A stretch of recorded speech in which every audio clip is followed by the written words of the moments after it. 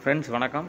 நாம் இப்போ பார்க்க போகிறது என்ன அப்படின்னா ஃபோர்கார்ட் அதாவது வாட்ஸ்அப்பில் ஸ்டேட்டஸ் வைக்கிறது மூலமாக நம்மளுக்கு ஒரு வருமான வருமான வாய்ப்பை வந்து ஏற்படுத்தி கொடுக்குற நிறுவனம் தான் ஃபோர்கார்ட் இந்த ஃபோர்கார்ட் நிறுவனத்தில் எப்படி வந்து நம்ம வந்து ஐடியை வந்து ஆக்டிவேஷன் பண்ணுறது எப்படி வந்து நம்ம வந்து மணியை வந்து ஏர்ன் பண்ணுறது அப்படிங்கிறத பற்றி தான் இந்த வீடியோவில் ஃபுல்லாக பார்க்க போகிறோம் நம்ம டிஸ்கிரிப்ஷனில் இந்த ஃபோர்கார்ட் நிறுவனத்துக்குள்ள ரெஜிஸ்ட்ரேஷன் லிங்க் வந்து கீழே கொடுத்துருக்கேன். அதை கிளிக் பண்ண உடனே உங்களுக்கு வந்து பேஜ் வந்து இந்த மாதிரி தான் ஓப்பன் ஆகும்.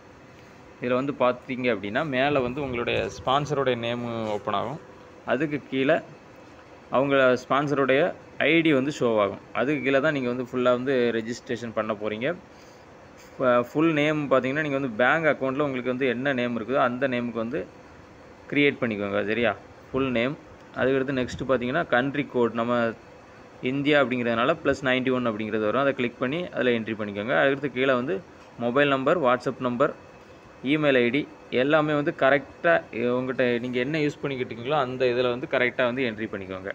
அதுக்கடுத்து கீழே வந்து பாஸ்வேர்டு நீங்கள் வந்து உங்கள் உங்களுக்கு விருப்பப்பட்ட பாஸ்வேர்டை வந்து நீங்கள் வந்து கொடுத்துக்கலாம்.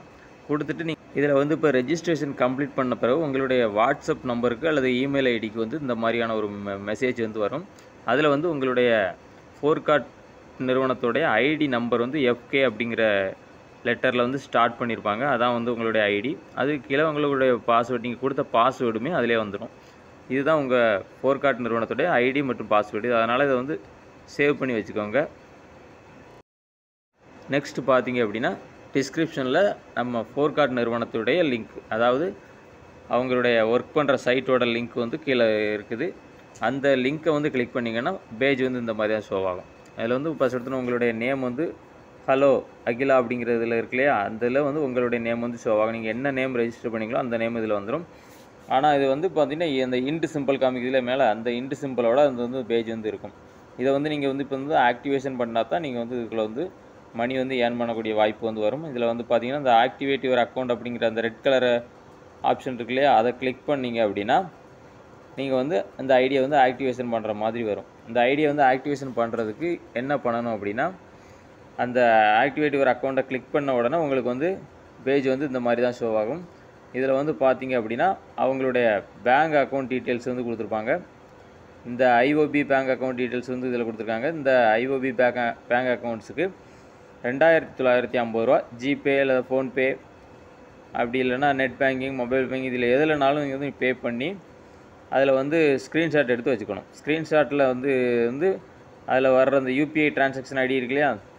அந்த யூபிஐ டிரான்சாக்ஷன் ஐடியை வந்து இந்த இந்த பாக்ஸுக்குள்ளே என்ட்ரி பண்ணி இந்த என்டர் யூடிஆர் நம்பர் அப்படிங்கிற மாதிரி கொடுத்துருப்பாங்க. அதில் வந்து யூடிஆர் நம்பரை வந்து கரெக்டாக மிஸ்டேக் இல்லாமல் நம்ம வந்து அதில் வந்து என்ட்ரி பண்ணிக்கணும்.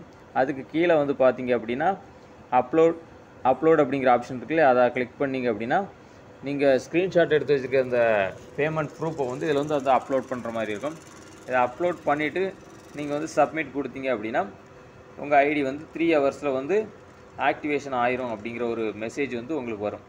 அவ்வளோதாங்க இந்த ஃபோர்கார்ட் நிறுவனத்தில் நம்மளுடைய ஐடியை வந்து ஃபுல்லாக கம்ப்ளீட்டாக வந்து ஆக்டிவேஷன் பண்ணி முடிச்சாச்சு. த்ரீ ஹவர்ஸ் கழித்து நம்மளுடைய ஐடி வந்து ஆக்டிவேஷன் ஆயிரும்.